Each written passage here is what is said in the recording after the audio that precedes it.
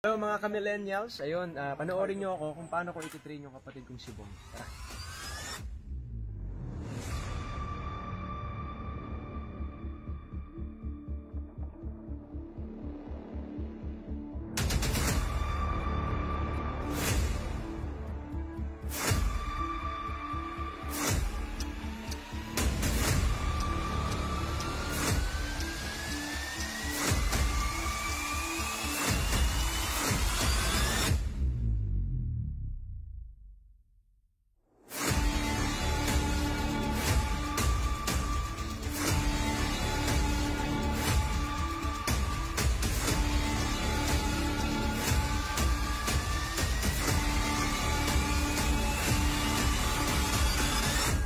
Kakaiba tong exercise to. Taping na, workout pa.